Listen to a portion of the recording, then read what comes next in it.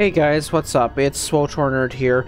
Uh, me and Quinn are just here on Ossus today, and we decided we're gonna do a Datacron guide for Ossus. I know we're a little bit behind the times here, but better late than never. We'll add it to our Datacron series, so yeah, we're gonna, first of all, we're gonna grab the presents one. Anyways, guys, first off, I just wanted to say really quickly, if you like the Datacron guides, if you like the SWTOR content on my channel, absolutely do me a favor, hit that like button, leave a comment down below what you enjoy about these videos, and don't forget to hit that subscribe button. Uh, turn on the notification bell so you don't miss the uploads. I do upload about once or twice a week, Anyways, so for the Presence Datacron here on Ossus, where are we? So first of all, we're by the where the Heroic happens here, the Heroic 2 Plus in that bunker right there.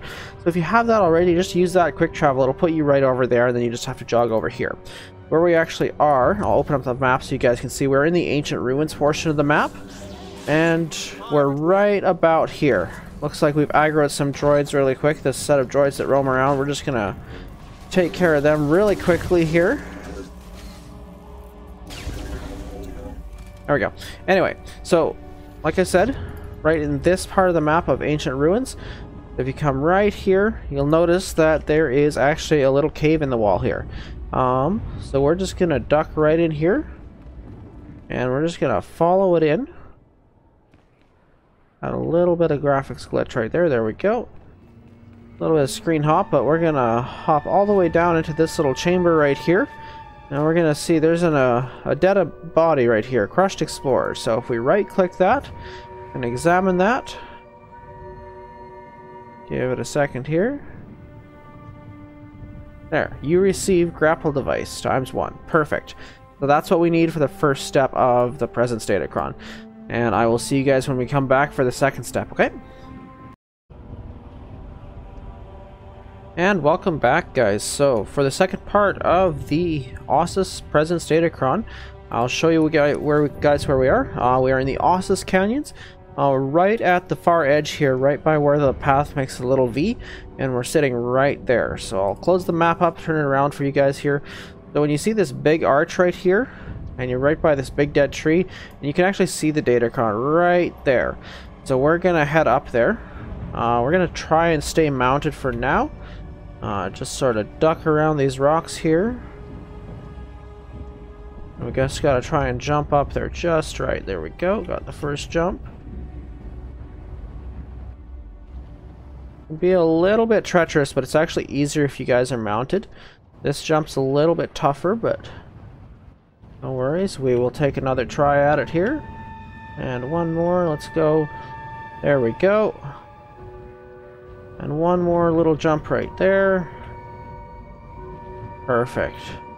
Now our grappling hook is going to allow us to click this little grapple point right here. Perfect, so there we are. And here is the present Datacron. Let's take a look at it here. We'll play the little cinematic right here. The present Datacron. Let's see what it's going to increase it by here. Give us one second. Plus 5 to presence. Now, if you guys don't know, presence is the stat that increases the effectiveness of your companions. Um, of course, your companions are affected by the influence level you have them at as well, but presence definitely helps as well. So plus 5 is not too shabby at all. But anyways, guys, that's how you do the presence Datacron, and we're going to swap over to the next one here, and I will see you guys there.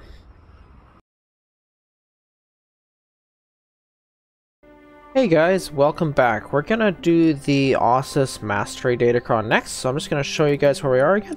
Uh, we're back in Ancient Ruins. The quickest way to get here is from the farm's entrance, and we're right in this sort of middle area facing the rock wall right here. So, when you get, what you'll see when you get here, you'll see the path sort of leads up to this little cave right here. So we're gonna hop into this little cave, and it's gonna take us right up to the Datacron. Uh, so one thing you'll notice here when you get in here is these little blue mushrooms here on your right side. You're going to want to start platforming up the wall. I apologize in advance. The camera's going to glitch a little bit because we're getting in such tight angles here. But yeah, you, so you just follow this little path up and right here you'll notice a little indent in the wall right here. So we're going to go up and there's a set of stairs. This part's fairly easy. There's a little bit of platforming coming up. Uh, not really difficult the hardest part of it is trying to get your camera to see. So you'll notice you're going to hit this little dead end right here. I'm zoomed out as far as I can. That's how tight it is in here. But if you can see up the wall here, there's sort of a little path we're going to follow. So I'm going to do my best to show you show you what we're going to do from the ground level here. So we're going to, with my cursor. So we're going to start out on our right side. We're going to platform up these rocks and onto this platform. So we'll do that first. And I'll show you guys what that looks like. So just little jumps. Make your way up. Turn to face what you're looking at. Take a jump.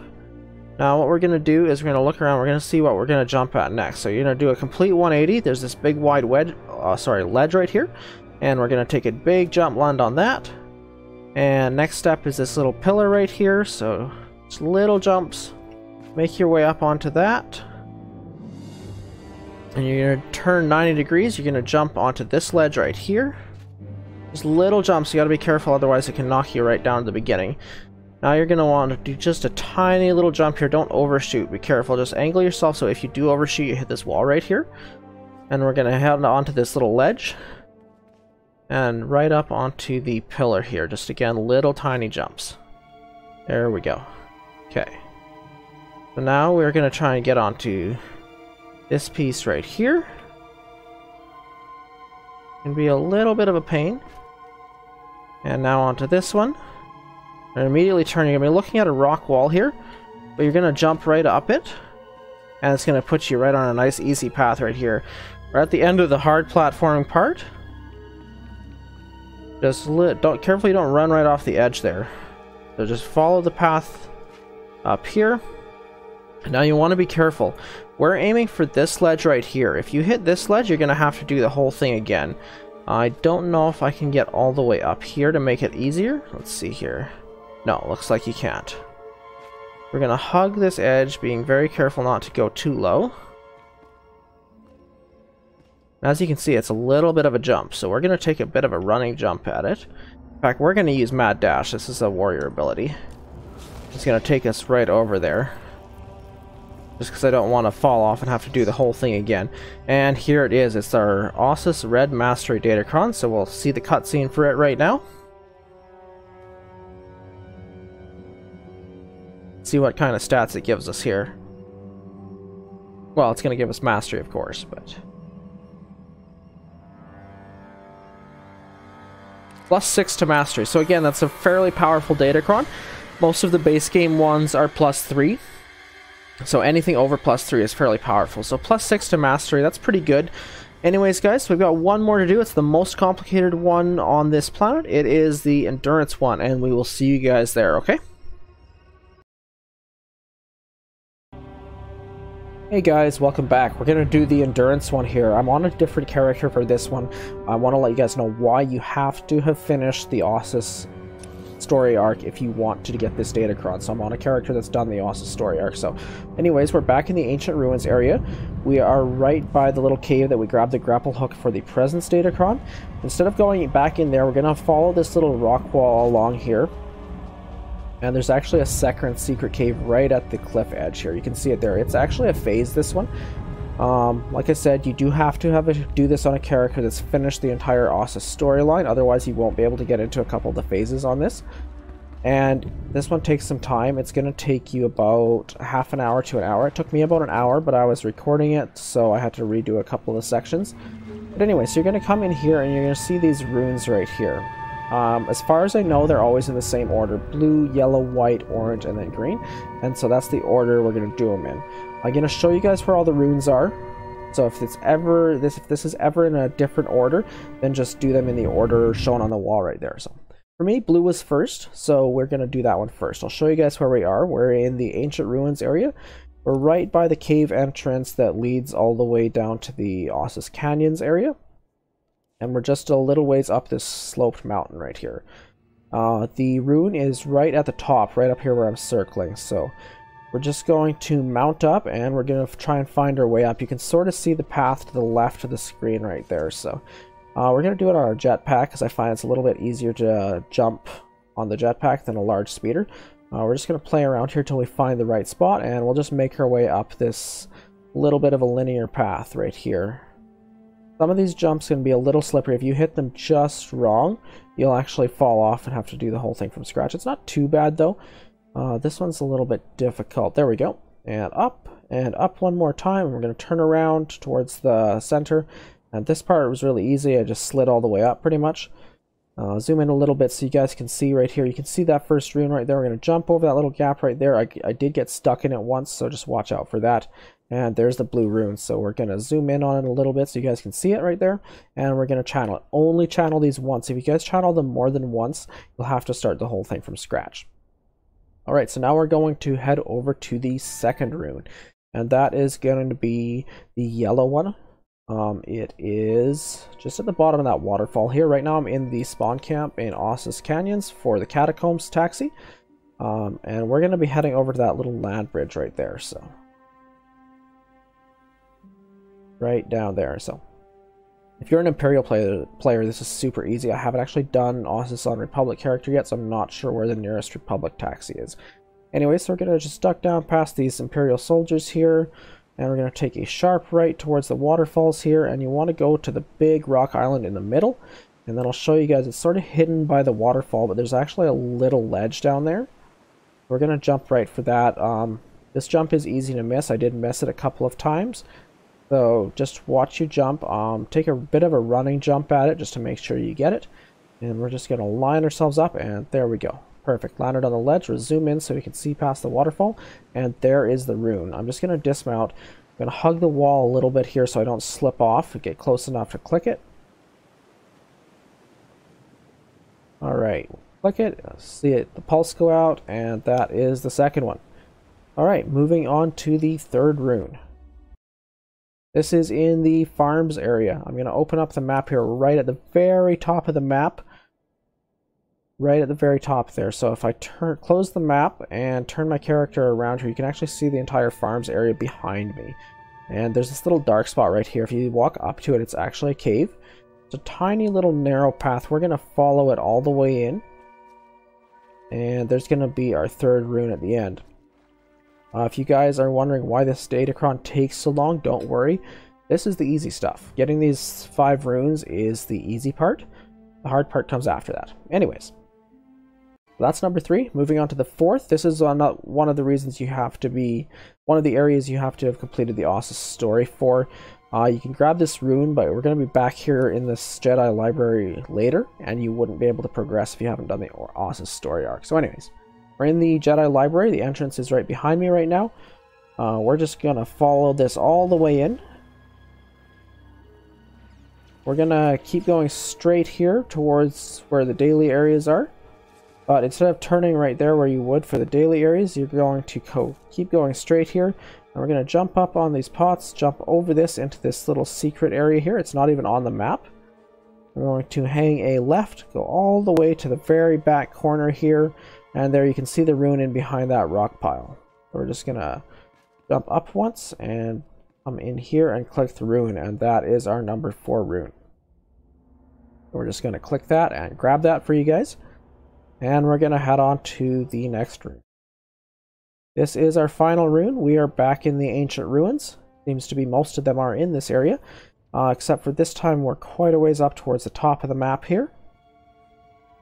Uh, landmarks, I'll just turn it around, is right where that droid boss spawns for the one daily mission. And so I'm going to dismount here. I'm going to switch to the jetpack so you guys can see it. This one's a little harder to see the path, but you basically just want to follow this sort of mini ledge that I'm on all the way across here. Just about fell down here, but managed to get back up. Already got stuck right here. We're going to take a little bit of a jump at that. There's a couple little spots you can get stuck here. My character actually got stuck a few times and I had to restart this. So just watch where you're jumping here. Just sort of follow the rock path along. I tried to get up top there. Uh, we're going to try and go around this way and hope we can get up here. Yeah, looks like we can. Perfect. Here is the rune. That's the final rune. So we'll dismount and we'll click that one. And now we have all five runes. Now if you guys want to make sure you've done this step properly, what we're going to do is we're going to go back to that very first cave right there. So we're back in the cave and you guys can actually see there's a little yellow circle above the runes. If you see that, that means you've done this step properly. So now that that's there, we're going to move on to the next step of the Datacron. Alright, so we're back in the Jedi Temple Library.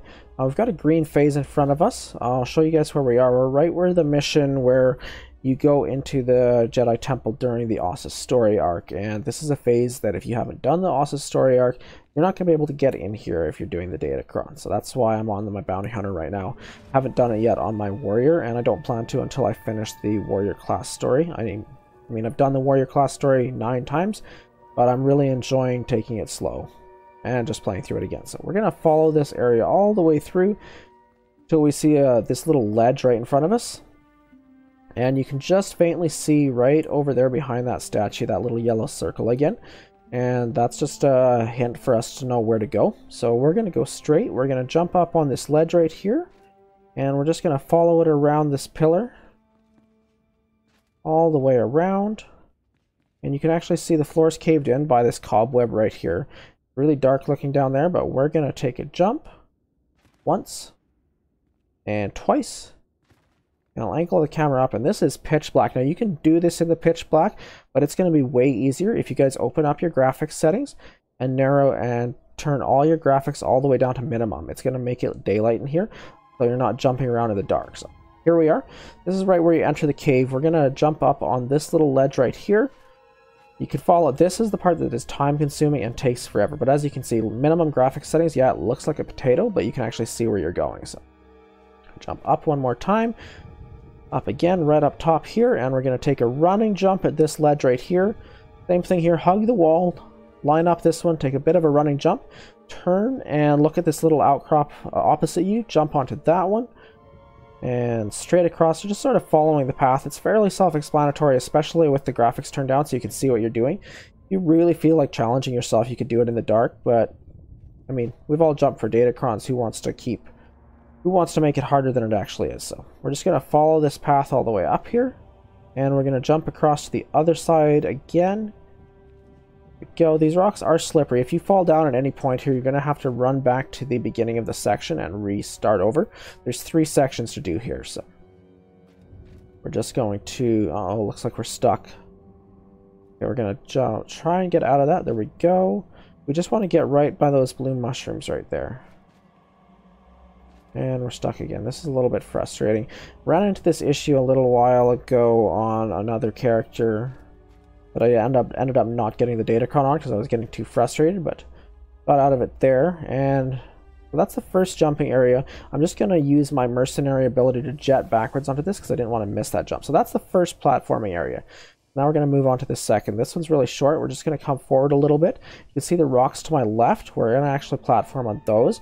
I'm just going to reset my recording here and we'll come back to do that. Okay, so I turned around. I'm facing the opposite side of that little rock pile. We're just going to follow it up here. Take a couple jumps at it. I don't know if you jump too far, you could probably you probably end up having to redo the first section all over again because you can see the ledge is right there, and we're getting we're getting closer and closer to it. This jump took me a couple tries when I first did it.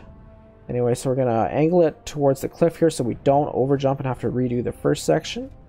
Try and get up on this last rock right here. There we go. Scoot forward on it a little bit, turn right around, and we want to try and get for this ledge. It looks like a super high jump, but this one's actually really easy. Get about halfway and just up jump. And we're just going to look for the path right here. Uh, looks like we do one or two things. We can keep going. Yeah, we're going to keep going straight. All right, so we're going to hug the left side, just follow this path all the way across. There's a little bit of a drop here. Be careful. I did fall on this at one point makes you have to reset. So just jump over that. Uh, one more jump, and we're going to get to a narrow little area that moves up. There we go. And there's a really narrow little spot right here. We're going to scoot through that, and it's going to open up into more of a tunnel here. Again, this is all pitch black if your graphics are turned up. So if you can't see in here, turn your graphics down to the barest minimum, and you'll be able to see no problem. Alright, so moving on to part three, you're going to move up this little ledge on your left as you go into the cave here. This part's really easy. You're just going to turn around. You're going to take a little bit of a run at this. Oh, no, we fell down. Uh, we're just going to reset and do that again. So yeah, hug the left side where there's this long ramp here. Move up it a little bit. A little bit at a time. Patience is the key here. Take a running jump. There we go. And we're going to turn directly to our left. And we're just going to follow this ledge. And that is our last jump for that section. So just hug this. It opens up. Turns into a really steep little hill here. Your camera's going to clip a little bit. Don't worry about that. Just follow it all the way up. And you can actually see this open area. And we're going to have to hit two buttons in this area. So the first one is to our left right here. It's glowing blue. And then we can see these open areas here. And we're going to have to platform across it. Unfortunately, my recording did glitch out for this area. So now you can see there's a force field over it. It's because I already hit both buttons. But I'm going to show you guys how to platform across it anyway. Because when you first get in here, like you can see when I in the previous section, the button was glowing blue and there was no force field. So you'd click that first button and then you'd have to platform across this. So you'd take a jump there. You just hug around this pillar very carefully. Don't jump across, jump towards the wall here. You won't make the wide jump. Take a run at it, jump, and there we go. And one more, and that's how you platform over the first section. I've got a little bit of a run here. Uh, coming up on the left side, you can actually see the Datacron. When you first come in here and get over here, there's going to be a force field around it, and it's not going to be clickable. So you're going to have to keep going to this section right here. So how to get around this section. Now there's a force field here, so I can't actually show you guys very well because my recording glitched out. But right where my cursor is, you're going to want to jump for that, and jump over that little pillar on the outside. You just basically hug the wall, so you'll land right here, and you're going to have to jump around that pillar right there to that section right where my cursor is and then straight up to that ledge. That's how you'd get around that section. Uh, then you'd follow it over to here. You'd jump towards the wall again to get over this. And then you'd come around this corner here. You'd take a long jump here. You'd have to take a run at it. I would have fallen through right there. Um, if you fall once, it will actually reset it and you'll be it'll put you back at the beginning of this area and you won't have to redo the whole platforming thing if you fall twice you'll have to redo the whole thing from scratch. So then you jump over this and you click this button right here. Uh, so once you click that button what happens is this force field comes up and that's where I noticed my recording had glitched and so I went back to the beginning and re-recorded this section of it but unfortunately I lost the footage from when before the force field was up. So now we can come click this Datacron right here. It says Holocron of Ood Let's click it. Unfortunately, that doesn't give you the Datacron. It just disappears, as does the force field. See, the force field's gone. Okay, I'm tired of potato-looking graphics. I'm going to turn my graphics back up to max. Oh my god, that looks so much better. Holy crap, guys. My game actually looks decent again. Holy crap. Alright, Moving on from that, we're going to go all the way back to this ancient ruins area, cave right by the edge of the cliff. Just show you guys right on the edge of the map here. Back to our secret cave, and we're going to go all the way up here. One more time. This is the last time we have to go up here, guys. If you've made it this far, congratulations. You've just done one of the more in-depth datacrons in this game, aside from the Makeb Endurance Datacron, which is a real pain. Anyways, so this pillar is now glowing blue. So if we click on it, we'll get a little bit of a cutscene here. If I'll click on it. There we go. Alright, so it is a green endurance datacron. Uh, downside to it, after all that work, it's only a plus 2 endurance datacron. Upside, there's a cool little weapon tuning, which more than makes up for, in my opinion, it being only a plus 2 endurance for all that extra work. So you let the cutscene play through right here, and the screen's going to flash white. There we go. There's a codex entry. Ood Bnar, he's actually a character in some of the comics that came out when this game launched. And if you open your inventory now, you should see something called the Ood Bnar weapon tuning. So I'm going to uh, preview it here, show you guys what it looks like on my blaster. I'm actually going to send it to my warrior, though, because I think it looks cooler on lightsabers. So uh, it's going to apply on our main hand blaster here. As you can see, it just sort of puts a bunch of branches around the blaster. I don't really care for how it looks on blasters. We'll zoom in a little bit here. Uh, if my character would stop waving her guns around at the preview screen so we could get a look at it, that would be nice. But you guys get the idea. Basically, it's a bunch of branches around the gun. Somewhat cool. I personally think it looks way better on the lightsabers, so I'm going to mail it to my warrior, and we're going to swap over there. So I've got my UI off here so you guys can see it. So you can see the little bit of branch detail around the hilt of my lightsaber. Um, I'm going to equip my lightsaber here. And you can see it actually, the branches, when you turn the blade on, it actually spirals up the blade a little bit. So it's really cool. I'm going to try and zoom in here, get you guys a slightly better look. Sorry about the camera angles. Trying to get in close enough here so that we can get a really close look at it. Come on. Nope, too close. There we go. All right, super close up look at it. So it curls around the handle there, and it actually goes up the blade a little bit and that will actually retract along with the blade when we put our lightsaber away. So if you just pay attention to the stuff around the blade, it has a cool little sound effect and it sort of retreats up the blade and comes out again when you turn it on. It's a really cool little weapon tuning. Uh, there's none others like it in the game. It's very unique. So yeah, thanks guys.